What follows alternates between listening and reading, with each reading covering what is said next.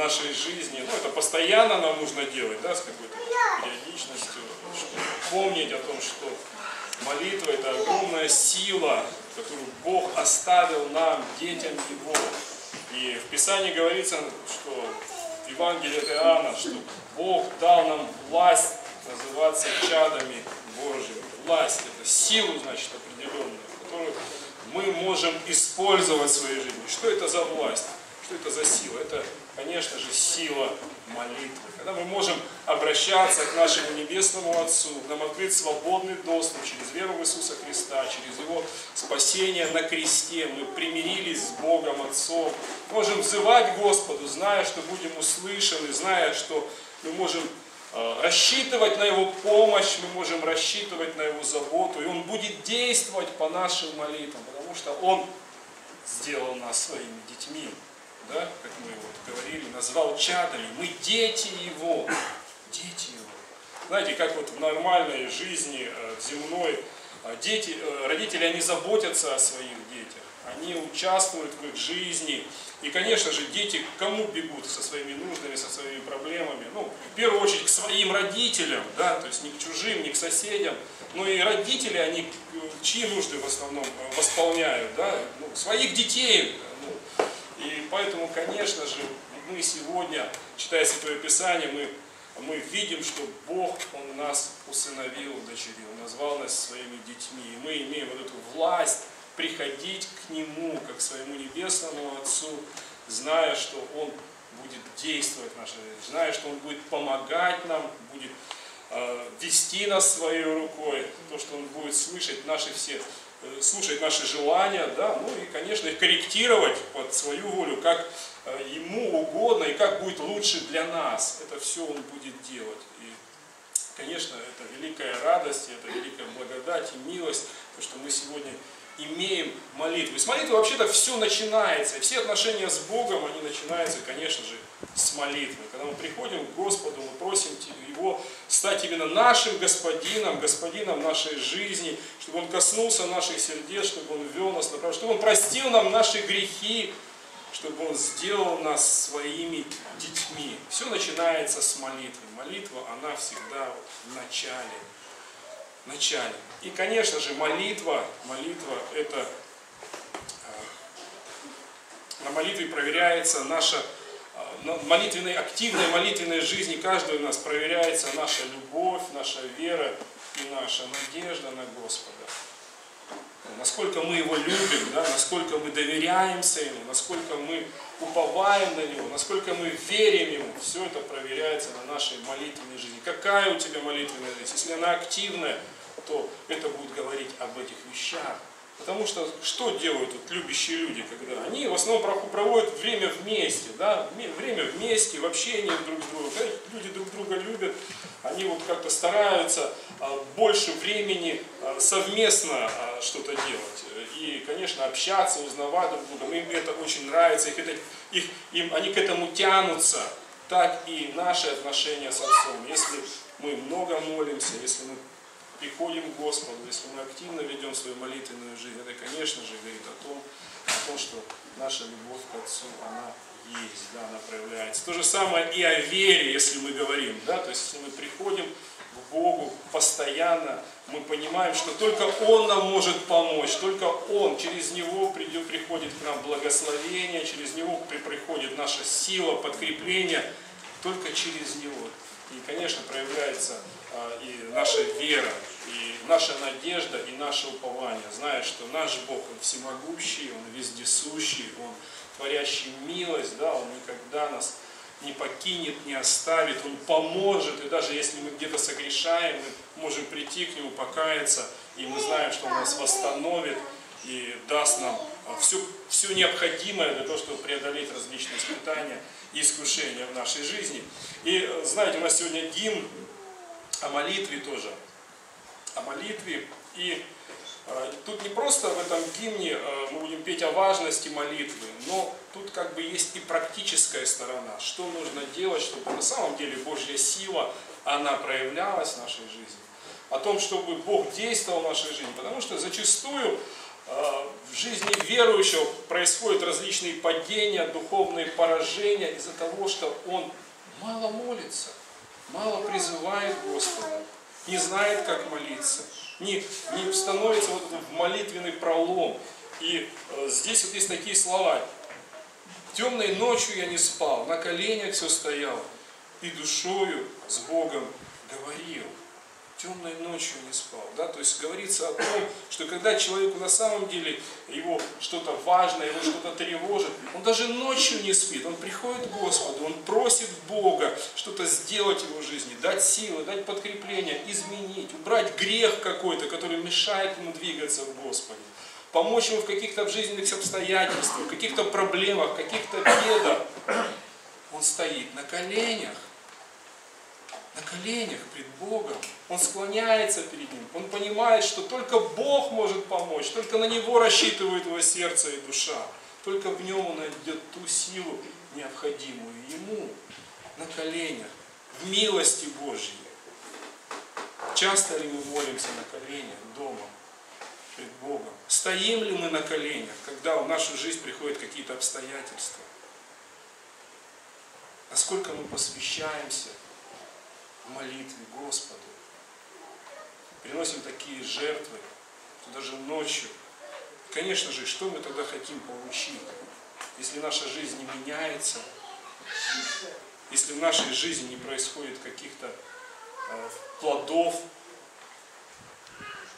их и не будет, если нет молитвенной жизни, активной молитвенной жизни. Если мы не будем взывать Господу, стучать к Нему – ведь Он обещает, да, что Он откроет двери для нас.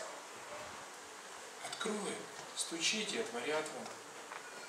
Ищите и найдете. Есть это в Писании? Есть. И часто наша вера, она превращается в такой авось. Знаете, говорят, да, про россиян, что они проблема россиян это авось.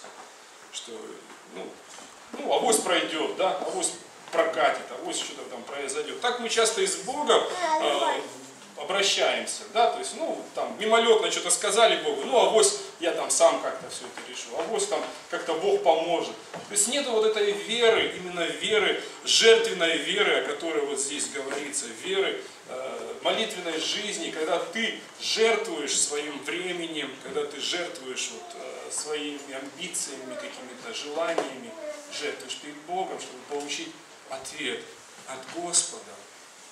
Ответ от Господа ты не приносишь эту жертву. А твоя молитвенная жизнь, да, мы читаем Писание, где Бог нас призывает постоянно молиться.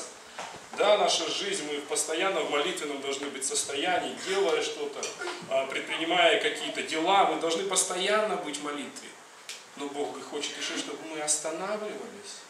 Для чего? Для того, чтобы вот отстраниться от этой суеты чтобы сосредоточиться на Боге, когда действительно в нашей жизни есть серьезные проблемы, серьезные какие-то ситуации приходят в нашу жизнь. Когда мы встанем на колени и будем умолять Господа, просить Его, умолять. Он Бог, Он Творец всего сущего. У Него все, Его глагол вечной жизни, милости, и знаете, тут есть еще один в этом гимне очень интересный момент, о котором э, мы часто не молимся и не понимаем, зачем нам это просить.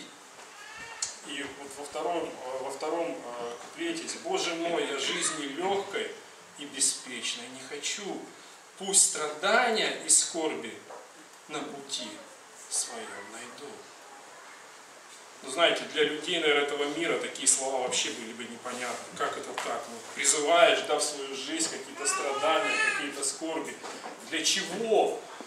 Наоборот, жизнь верующая, ты с Богом, у тебя все должно быть радостно, все должно быть красиво, все должно быть э, наполнено, да, то есть у тебя, то есть богатством должен обладать каким-то. Какие скорби, какие страдания? Ты не должен болеть. Нет. Знаете, вот читая Писание, книгу Откровений, вот во второй и третьей главе а, Иисус обращается к семи церквям. Это были реальные церкви в свое время, в первоапостольские времена. И они являют образ а, церквей вообще во все времена, которые, которые существуют, то, что происходило в этих церквях. И вот семь церквей, и только двум церквям он не имеет претензий. Пяти он имеет претензии, а вот к двум не имеет. И вот одна из них это Смирнская церковь. Во второй главе, в восьмом стихе написано, «И ангелу Смирнской церкви напиши, так говорит первый и последний, который был мертв и се жив. Знаю твои дела, и скорбь, и нищету, и в скобках, впрочем, ты богат, и злословие от тех, которые говорят о себе, что они иудеи, они не таковы, но сборище сатанинское. Не бойся ничего, что тебе надобно будет претерпеть. Вот дьявол будет вергать из среды вас в темницу, чтобы искусить вас, и будете иметь скорбь дней десять. Будь верен до смерти, и дам тебе венец жизни. Аминь. Он не, здесь нету претензий к этой церкви. Здесь только подкрепление, да, он говорит, вот это будет, но ты будь. Не бойся ничего. Он говорит, знаю твои дела и скорбь. Я знаю, что с тобой происходит сейчас. Гонения какие-то, теснота, скорбь и злословие. Но ты не бойся ничего. Знаете, зачастую вот эти все ситуации в нашей жизни, скорбь, теснота, страдания, они наоборот нам помогают.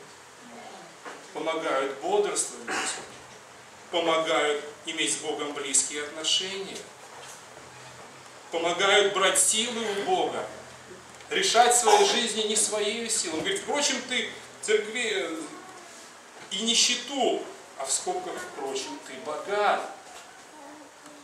Как говорит Павел, в немощи проявляется сила Божья моей немощи. Когда я нищ духом, мне нужен Бог, я нуждаюсь в Нем. Но когда у нас все хорошо, приходит гордость, упование на собственные силы. Поэтому нам необходимо и скорби, и страдания, чтобы мы не забывали о Боге, чтобы мы действительно всем сердцем нуждались в Нем, мы понимали необходимость в нем, в нашем Господе. Мы как-то на семинаре изучали книгу Чарльза Сперджина а, лекции моим ученикам. И там он советует именно проповедникам, ну вообще верующим, посещать людей, которые находятся на одре серьезных болезней, которые находятся при смерти, чтобы человек видел вообще тленность свою, чтобы он осознавал, понимал, что, что такое немощь.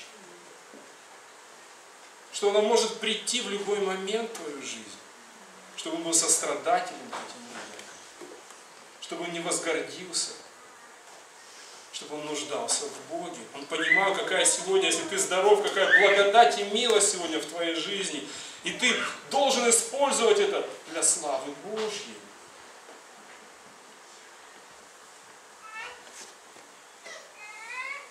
Как это важно нам понимать.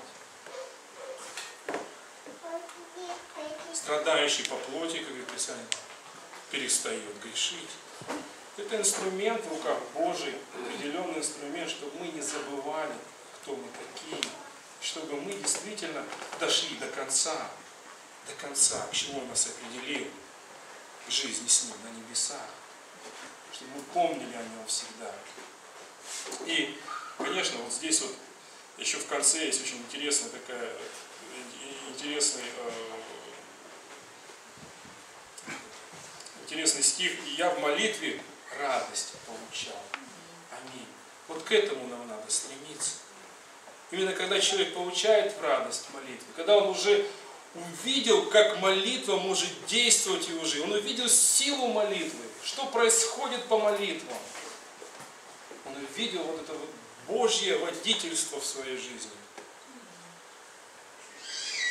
Он понял, какая радость это ощущать Бога в себе. Какая радость ощущать Божье присутствие. Ведь когда мы молимся, Бог наполняет нас. Наши отношения с Ним становятся близкими. Это именно радость. Радость от того, что всемогущий Бог, сотворивший небо и землю, Он сегодня с тобой. Он всегда рядом. Это только даже представить в нашем разуме часто мы не можем. Как так? Все им живет, дышит, существует, и мы можем приходить к Нему. Что Он никогда не оставит нас. Постоянно заботится о нас. Всегда. Это действительно радость. Я желаю, чтобы мы все вот такую радость испытывали от отношений с Богом. Чтобы наша молитвенная жизнь, она, конечно же, была всегда занимала активную позицию. И мы нуждались в Боге, нуждались в Нем. Потому что только Он может нам действительно помочь так, как нам нужно и как необходимо. Поэтому давайте мы встанем, помолимся.